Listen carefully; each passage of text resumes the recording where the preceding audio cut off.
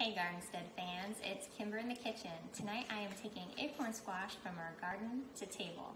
I love acorn squash. This is one of my favorite fall comfort foods and it is so easy to make. So tonight I'm going to show you just how easy that is.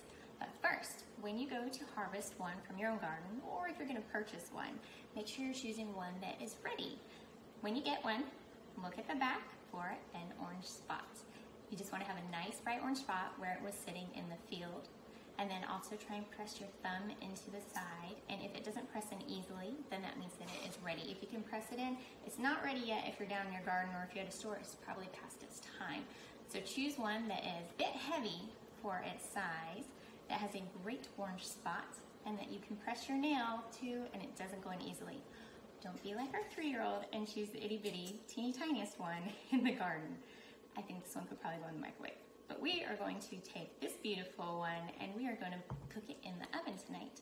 And it's very easy to do. They're actually kind of hard to cut into. So you can go ahead and grab a sharp knife and cut it in half.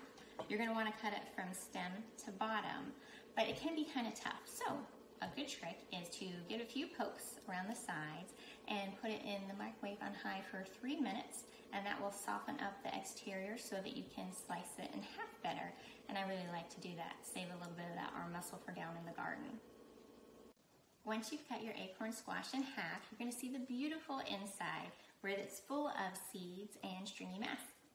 You're gonna wanna get a spoon and a bowl and scoop that part out. And you can actually save that for another time and roast those seeds just like you would with pumpkin seeds. They are absolutely delicious. So I'm gonna scoop these out and then I'm gonna place them into a foil lined baking dish. And I'm gonna put in a dollop of butter and a little bit of brown sugar. And I'm just gonna place them in the oven for an hour at 350 degrees. And that's it.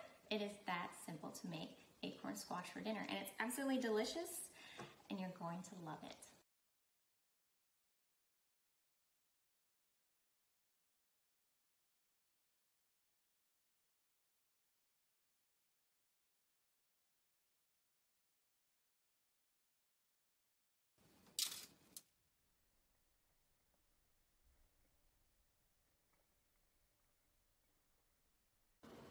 Okay, it has been an hour and the acorn squash are finished. They smell absolutely delicious. I am so excited for dinner tonight. Can't wait to see how yours turned out as well. Please share in the comments.